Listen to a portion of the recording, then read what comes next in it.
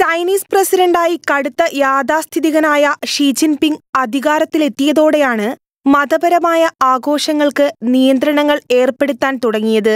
സ്കൂളുകളിലെ ക്രിസ്മസ് ആഘോഷങ്ങൾക്കും നേരത്തെ Xi Jinping സർക്കാർ വിലക്കേർപ്പെടുത്തിയിരുന്നു ക്രിസ്മസ് ആഘോഷങ്ങൾ ഒഴിവാക്കുന്നതിന്റെ ഭാഗമായി ചൈനീസ് സർക്കാർ ഗാങ്ഷുവിലെ നാൽപ്പത് വർഷം പഴക്കമുള്ള റോൻഗുലി പള്ളി ആദ്യം അടച്ചുപൂട്ടി. ബെയ്ജിങ്ങിലെ ആയിരത്തി അഞ്ഞൂറ് ഇടവക അംഗങ്ങളുള്ള സിയോൺ പള്ളിയും പൂട്ടി. ബൈബിളുകൾ ഓൺലൈനിൽ വിൽക്കുന്നതിനും വിലക്ക് ഏർപ്പെടുത്തിയത് മതവികാരങ്ങൾക്ക് നേരെയുള്ള കടന്നുകയറ്റമെന്ന് ചൈനയിലെ ക്രിസ്തു മതവിശ്വാസികൾ പരാതിപ്പെട്ടു. International desk twenty